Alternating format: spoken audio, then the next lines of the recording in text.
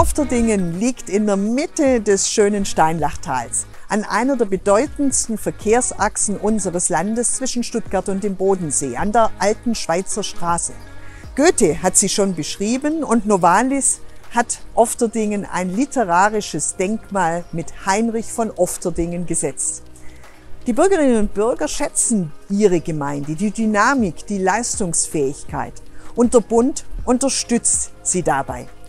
Mit einer halben Million Euro in den Ausbau des schnellen Internets, mit der Dorfkernsanierung, der Ortsbücherei, die der Bund unterstützt, aber auch mit der Bundeswaldprämie für nachhaltige Waldbewirtschaftung hier vor Ort. Ofterdingen steht auch vor Herausforderungen, gerade wenn es darum geht, jungen Familien gute Lebensbedingungen zu ermöglichen. Deshalb ist der Ausbau der Betreuungsinfrastruktur so wichtig, ausreichend bezahlbarer Wohnraum in der weiteren Entwicklung. Aber für die Anbindung in die Region und weit darüber hinaus braucht es jetzt den durchgängig vierspurigen Ausbau der B27. Dafür setze ich mich als Bundestagsabgeordnete seit vielen Jahren ein. Daran will ich weiterarbeiten. Miteinander wegen morgen.